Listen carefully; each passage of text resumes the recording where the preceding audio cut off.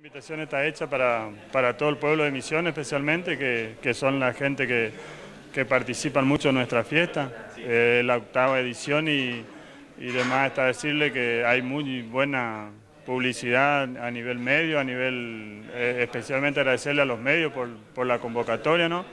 que son los que dejan en alto nuestra fiesta, que son los que, que llevan adelante que nosotros podamos tener buena difusión de nuestra fiesta. Y está además invitarle a todos y la fiesta arranca el sábado después del mediodía. Intendente, ¿qué vamos a encontrar en la fiesta? Y en la fiesta el, sábado vamos a encontrar eh, la exposición de la Asociación Rural de Misiones con la EFA San Cristóbal, que van a hacer demostraciones de, presentación de animales de la zona, eh, productores, eh, demostración de esquila, de cómo se trabaja con el ovino. Y el, después sigue Misión a Mercosur, cierra Misión a Mercosur con Fabián Mesa, a las 22.30 arranca Elección Reina con un, grupo musical, Gerardo y su grupo, cerrando para las 3 de la mañana. ¿Cuántos corderos aproximadamente habrá disponibles? Eh, nosotros este año pusimos un tope de 100 corderos para, por el tema económico, por el tema del precio mismo del cordero, para que sea... Eh, nosotros estamos comprando a 300 pesos el kilo de cordero y estamos vendiendo a 300 pesos el kilo asado también. ¿La producción del cordero es de la localidad o comprando otro lugar? De Fachinal, Fachinal nosotros estamos sacando eh, para esta fiesta 43 corderos, que está confirmado, y de ahí traemos de Profundidad, que es nuestro vecino, Profundidad, Tacuaruzú, La Colonia, ahí eh, creo que va algo de Candelaria, y es todo de la zona. Recién lo escuchaba, ¿no? La, la principal producción que tiene Fachinal no dan abasto. Eh, no, eh, no estamos dando abasto, pero estamos, los productores no trabajan para, para fomentar el, cordero, para tener por cantidad, están saliendo corderos y están vendiendo. Nosotros trajimos hasta abril al mercado concentrador y, nunca pudimos dar abasto al mercado con, la producción de cordero. ¿Y esto representa una gran complicación para, para el municipio?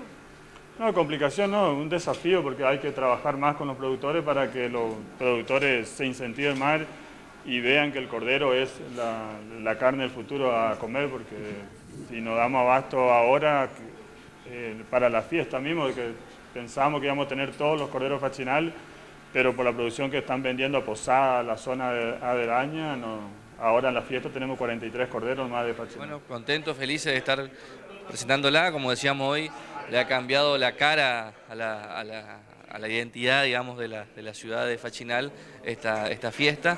Eh, así que bueno, estamos eh, empujando, apoyando, a pesar del contexto va a salir dos días, eh, no, solo, no solo la fiesta, sino que también hay este, distintas experiencias que se hacen, este, bueno, con, como es la, la, esquirla de, las ovejas, hay un trabajo también que estamos, están haciendo la gente de Doma y que van a estar haciendo el día domingo. Eh, bueno, hay un, combo interesante, digamos, que, le da este, distintos matices y una oferta muy interesante para que la gente pueda ir y disfrutarla, ¿no? Sábado y domingo fiestas están siendo eh, un, motivo de, congregación y movimiento en toda la provincia. ¿Tienen registro de cuántas fiestas provinciales hay? ¿Cuántas faltan todavía para completar todos los municipios? Sí, estamos trabajando con la, con la Cámara de Representantes en un registro. Eh, ellos nos han ido acompañando muchísimo. Eh, hicimos mucha sinergia ahí en lo que tiene que ver con, este, la comisión digamos, que va declarando la fiesta de interés provincial. Eh, y estamos haciendo un registro de toda la, provincia de cuántas fiestas hay. Eh, esta es la época más fuerte, ¿no? De noviembre, diciembre, enero es la época de, más fiestas este, populares, las fiestas provinciales. Eh, también está la fiesta nacional de la, de, la, yerba mate, que también es este fin de semana. Así que, bueno, vienen y muchas todavía faltan. debe faltar por lo menos un, 40% que se van, generalmente se hacen todo en, en, fin de año. La fiesta de la, de la Navidad es una de las últimas. Eh, así que, este, bueno, la expectativa es alta, ¿no? Porque esto no solamente congrega a la gente del pueblo, de las ciudades vecinas, sino que también, bueno, eh, es una convocatoria también a nivel este, provincial y en cada fin de semana es un atractivo más para los turistas que nos visitan los fines de semana en, el concepto de escapada, ¿no? A tanto a la ciudad de Posada o Iguazú, que es donde llegan los aeropuertos, este, bueno, la gente puede, puede moverse con facilidad e ir también y disfrutar de esta fiesta. Sí, está bueno que suceda eso en una época de crisis, pero también es una oportunidad para los músicos de Misiones que tienen que trabajar Ustedes siempre me vieron a mí hablando sobre esto, sobre eh, el trabajo del músico misionero. Y yo creo que hay muchos proyectos en la provincia de Misiones que hace rato vienen este, participando en la mayoría de las fiestas. A mí me toca ahora colaborar con la gente de Fachinal en la fiesta del Cordero, que es una fiesta que hace ocho años se hace ya. Estuve en la primera edición y bueno, me hice muy amigo de la gente de la fiesta, de, esta, de, la, comisión. Así que este año, ante la duda de salir o no de la fiesta, me puse a trabajar con ellos también para que salga la fiesta. Eh, una fiesta emblemática acá de la, de la, zona sur de la provincia.